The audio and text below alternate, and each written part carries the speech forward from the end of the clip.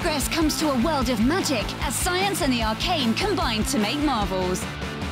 Meet steampunk inventors and orc mystics at the Wolsung Hub on beastsofwar.com.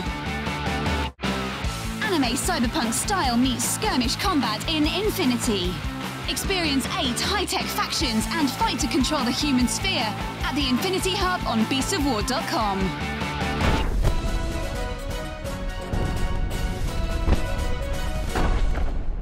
Hi guys and welcome to the Bolt Action Locked and Loaded show. I am John of course and I am joined by Rich.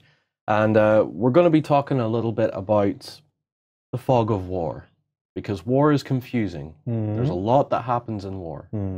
Look how confusing all this is. Yes. How do we make sense of this? Well, if you're new to Bolt Action and you've got the rulebook in your hand Yep.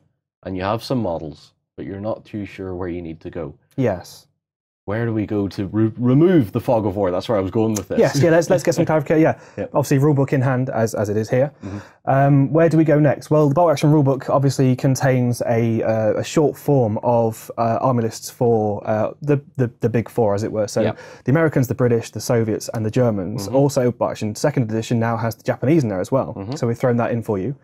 Um, but I say those are sort of short forms of the army list. So where do you go next? Well, there are a, a wealth of books of bolt action. We've got just a few here, and it's Yep. still weighing down the table considerably. There's at least what eight or nine there as well, Yep. and there are more on top of that. So where do you go next? What are they all? Well, let's break it down to a few sections.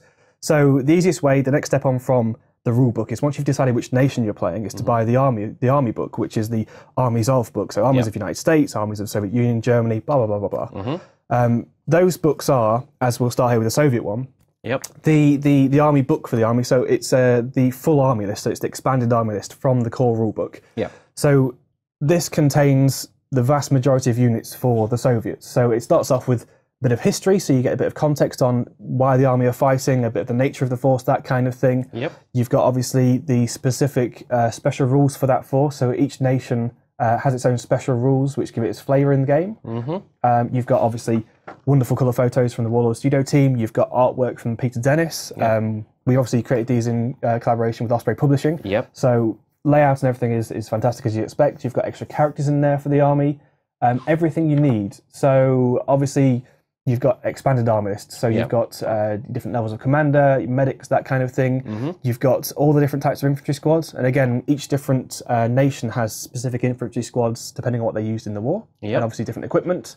You've got all your anti-tank options. You've got all your different tanks. Everyone loves tanks. Mm-hmm.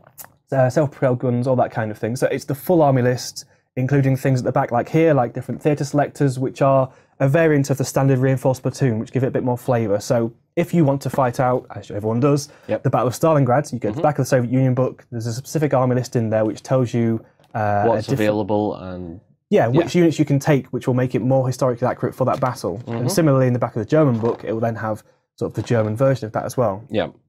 So there is plenty to work on here, but the the most important thing is to not get confused Yes. and to not feel overwhelmed because yeah, there's a lot of books. yeah. There's only maybe you know your core rule book and your armies of book that are going to be the most important. That's you. your, your staple, yes. Yeah. So there's plenty of these. Uh, for there are seven armies of books now, I believe. So Um, we what we have here is the Soviet.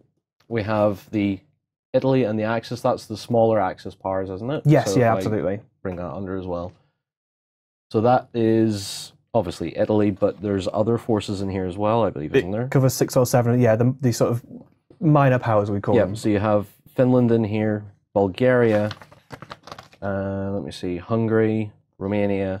So yeah, the the smaller what what we eventually became some of the smaller Soviet states at the end of the war. Yes, yeah, absolutely. And again, each one has its own uh, na- national rules to give it its own flavour Yeah. and specific units that they used. hmm So we also have the United States. Yeah. The, the best, of course. we have my favorite, the Great British.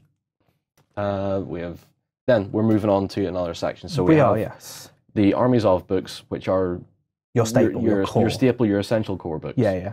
So after that, now we've you've gotten comfortable with it. You've got an army built. Yep. You're starting to play some games with your friends at your local gaming club, but they now are starting. Your your group is maybe getting a bit bigger, and they start to talk about campaigns, and they start to talk about larger gaming weekends and stuff like that. Yeah. Um, but you need theaters for that. You need a, a setting, like a narrative for it. Yeah, you, you want to add narrative, you want to add a theme to your, your lists. Mhm. We've then done that uh, firstly.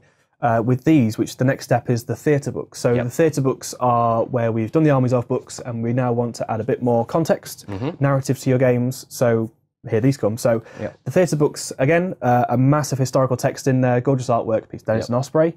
Um, you've got more of the theatre selectors. So again, obviously Germany strikes. This is the early war, the Blitzkrieg period. Germany uh, dashing across Europe. So yeah, a lot of the early war forces. Um, yep, theatre lists to create specific armored train forces Yeah. and other You bits and pieces. Sorry, I had to mention that. You, you get little scenarios and you get what is really useful for the, the budding painters as well. You get these brilliant uh, these brilliant pieces of artwork from Osprey as well Yes. that really show off how the uniforms look and you know all that sort of stuff. Yeah, exactly. So these focus in a bit more, and uh, if, if you don't know the early war period, this is the, the book to get. Mm-hmm. If you want to fight out those battles of uh, Germany ploughing across Europe, this is the book to get. Um, yeah, it focuses down. It gives you more specific information and you know specific units as well. So Yeah. the German army book has a lot of Blitzkrieg forces, Mm-hmm. but we thought why not expand upon that as well? So there are extra options in here, extra units, extra characters again specific to the period, and that kind of thing. Yeah. So this is tying down your army list, or this is adding a flavor to your army list, which will make it more compatible with a certain period of time. Exactly, and obviously you haven't got to, you know, you build your army. You haven't got to stick to one of these. It's just a way of using a different combination of units to mm-hmm. create a more historically themed army. Yeah, and these will still tie in with your armies of books as well. Yep, because exactly. They, the armies of books have points costs for the generic sort of in early war, for example. They do have early war listings, but this goes into more detail with Yes, tells you more exactly- detail, more options. Again, more characters as well. So the characters add a bit more flavor again. Yep. So it's a, it's adding that that narrative, that flavor to the army, and just more options. So for the for the uh, theaters, so we have Germany strikes, we have Duel in the Sun, which is all our desert campaign. Yeah. So that's your Afrika Korps, your Eighth Army, British Eighth Desert Army. Rats. Yep. Um, do the Americans come into this one at all, or is Uh, I believe they're touched upon, but I say it is it's mainly the whole you know um, Rommel Monty Yeah. really, and again into Italy as well. So Monte Cassino and that kind of thing. Yep. So you do get a lot of information in here. You get historical information as well as how it affects your game. And again, there's also things like environmental effects. So obviously in the desert, you've got sand that affects you in different ways. So you've got Yeah. things like quicksand in there. You've got things like night fighting as well. So again, it's not just adding to army list; it's also adding uh, different environmental effects as well. Yeah. The most important page in this, uh, which is the the Duel in the Sun one, is definitely this, which is the the Code of the Desert. Yes. yeah. Everybody has to read that. I'm not going to read it now, but everybody has to read it because it is a fascinating insight into a few things. Again, just full of fantastic pieces of artwork, as well as the, the miniatures themselves on the tables, which is always a, an excellent way to go. Yeah, exactly. Then we're on to Ostfront. A, a bit of a favourite, yes. Yeah, it's a favorite of yours. So this is mostly our Soviets in a particular period, as well as Barbarossa to Berlin. So this is covering the Eastern Front and more. Exactly, detail. yeah. So covering iconic battles, things like obviously Kursk, Yeah. huge favourites, uh, Stalingrad, and uh, yeah, all the action on the Eastern Front. So it's not just Soviet and Germany, though. There are other nations in there as well. Yeah, So yeah, I say on the Warlord website, obviously we've got descriptions of all of these. So if you're looking for something specific, have a look. Mm-hmm. Um, but yeah, there's an absolute heap of uh, information, historical and game-wise as well. yeah. And that's the nice thing. I think you you guys have done really well with Osprey because they were always one of the, the finest, um, the finest sort of break-in historical book I found. They had plenty of information, but they had a lot of good artwork, a lot of good images. Yeah, it's all were very, um, what's the word, approachable and very, Yeah. you know, there's no, it's not a steep learning curve. They uh, sort of ease you in very well. Yeah. So we now have our theaters covered. The theatre book, again, theatre books, there are, I believe, five or six now. So we're covering everything from, and again, the, the series of theatre books is now considered complete. So it covers um, everything from the Pacific Empires in Flames book through to Early War, through to Eastern Front. Um, so we've covered all the theatre books. So that, again, that collection is now complete. Yeah. And we then have our armies of. So you have your court, you have your flavor flavour. text. Yeah, you Yep. have your flavor. Um, after that, you've had a lot more games. You're feeling really confident with it. You're enjoying the game a lot. You've built your collection a bit more. You've got additional units. You've got a few tanks going spare. Yeah. And what are we going to do with those? Everyone loves tanks. Uh, We Yes. at Wallers adore tanks. Uh, we have an absolutely huge range of World War II vehicles that just boggles the mind. Yeah. So obviously we had to do a tank game. We couldn't not do a tank game. Everyone loves tanks. Uh, so Tank War. Tank War. We have Tank War, and this is what we would call a supplement book. Yeah. Yes, yeah, it's an additional supplement book. Mm-hmm. Um, it's a way of adding more armor to your forces. So obviously in bolt action you've got the standard reinforced platoon or the theatre lists. Typically um, you are allowed one armored vehicle or one tank per reinforced platoon. Yep. Uh, obviously you can take multiple platoons to get more, but people want to play tanks on the battlefield. Yep. So tank war allows you to take a pure tank force if you want to. Um, also things like armored car lists of just armored car formations, of scouting formations, that kind of thing. Um, and obviously tanks plus motorized infantry. Yeah. So this is for all those treadheads out there that just love even just collecting the tanks. Yes, yeah, this is a way to get using those, get using that collection. And numbers wise, it scales from having a handful of tanks, two or three, I believe, right Mm-hmm. up to as many tanks as you can possibly get your hands on. So we've had tank battles of you know hundreds of vehicles. Um, yeah, it gets pretty crazy. But again, tank war because you have uh, less units on the board. You obviously each unit is one tank, which has typically one or two weapons, as opposed to a squad which has 10, 12 weapons. Mm-hmm. Uh, the game goes a bit faster, um, and it's just fast and just furious. It's great. Yep. And we have been looking at a few other bits and pieces in the, the games to do with tanks and Yes, stuff like that. yeah, you'll, yeah. you'll see all those and they'll be about. So get checking those out. So that is essentially the, the three types of book that we've got. So apart from the main rule book, you have your armies of, which Yep. is your core. Yep. You have your theatre book, which is your flavour. Yep. And then you have the supplement, which at the minute is The cherry on the cake. Yeah. So you have that nice big cherry up there, that big armored cherry. so obviously don't be scared of the books. That's that's the important thing because you see a lot of people saying, "Oh, there's too many books. I don't know where to start." Yep. So just you have your main rule book and your armies of book. That's enough. Yeah, dive into the rulebook. The, the core Yeah. rulebook itself is, is absolutely packed. So Mhm. the core rulebook is where you start, then your armies off book. Um, Yep. And obviously, you haven't got to get all the armies off books. You haven't got to get and know all of your enemy's units. That's the beauty of bolt action is playing different people. Mm-hmm. You then learn how, if I play Americans, I learn how a Soviet army works by playing X, Y, and Z different Soviet Yep. players. So get your own armies off book and then expand from there, really. Yeah, we, we have a, a very good Soviet player in the community, um, Commissar Boris, if I remember right. That's your his name out there.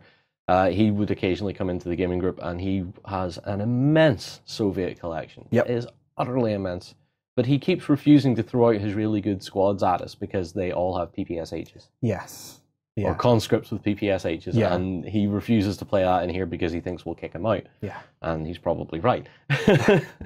but yeah, don't worry about it. If you're just new into the game, just settle down, relax, and just enjoy the hobby and enjoy the reading of it because you'll learn a heck of a lot out Yes. of the books and you'll get to enjoy a game that uh, we've been absolutely loving the past while. So thanks very much, guys, for watching. Uh, if you're a backstager, come on over to backstage. We'll be talking a little bit more about a few other things. Yeah. What might be coming next, perhaps? Yep. So get your comments down below. Let us know what you think of the books. If you're new to Bolt Action or if you're coming into it or you're interested in it, has this video helped? We'd certainly like to know about that too. So guys, thanks very much. We'll see you in the next one.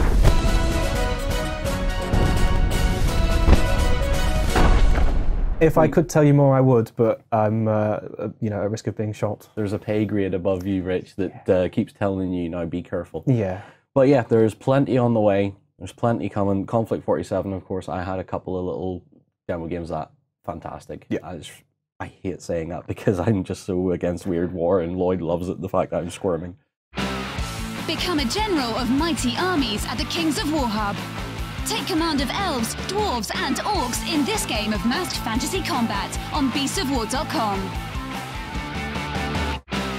From Viking halls to the cities of the future, terrain buffs will love our foreground hub.